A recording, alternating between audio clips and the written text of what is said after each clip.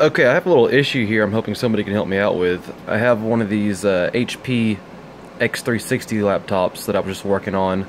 I uh, just replaced the, the battery here on it, and that's working now. The, bat the uh, laptop is powering up now without being plugged in, but the issue I'm having now is is that the keyboard is not functioning. Uh, reason being is that this uh, ribbon cable here is not uh, inserting correctly into this uh, locking clip connector.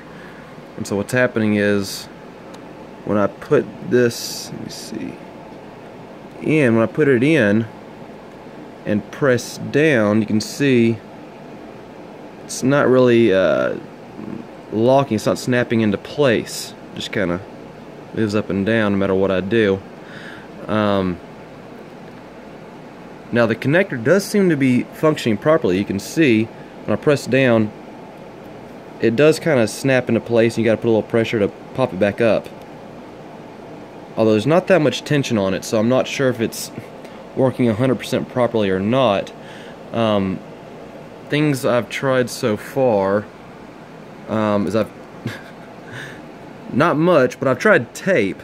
I've tried uh, sliding this the uh, the cable in, kind of clamping it down, and then kind of taping it um, down onto the motherboard. Uh, I've powered it up and had no success with that.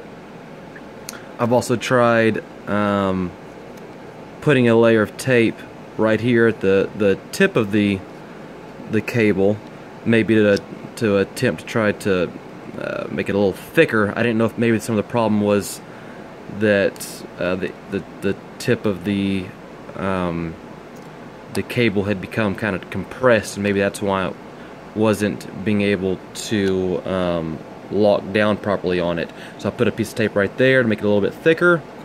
Um, I, I, didn't really have much success with that um, with it you know improving the um, the connection powered it back on still didn't have any uh, function of the keyboard so I'm just asking, is there any hacks out there? Does anybody know of a way to repair this? I've looked online. I ha haven't been able to find anywhere that sells these little plastic clips by themselves anywhere.